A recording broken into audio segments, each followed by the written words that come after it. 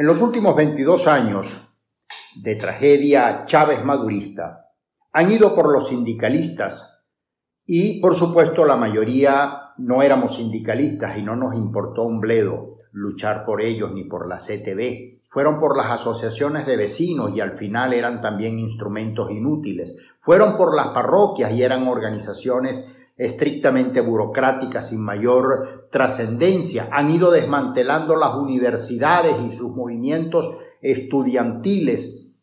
Y al final, al fin y al cabo, también la conclusión parece ser, aquí no vale la pena eh, estudiar. Fueron por los gremios y seguramente acusamos a los mismos de que solo pensaban en su profesión y en su beneficio. Fueron por los partidos políticos y bien hecho, porque yo al final no milito en ningún partido político. Fueron por la clase media y seguramente esa clase media solo pensaba en sus privilegios. Fueron por la Asamblea Nacional Legítima y por Juan Guaidó y todavía están yendo por ella y sospecho también que no nos importará nada porque al fin y al cabo no cumplieron con el cometido de derrocar la tiranía.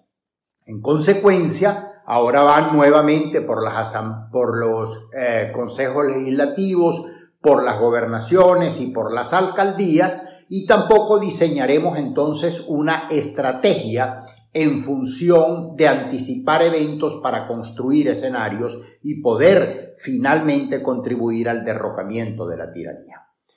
Esas son las causas y las razones por las que la gente termina inmovilizada porque finalmente no tenemos espíritu de cuerpo en función de luchar contra la tiranía que nos ocupa.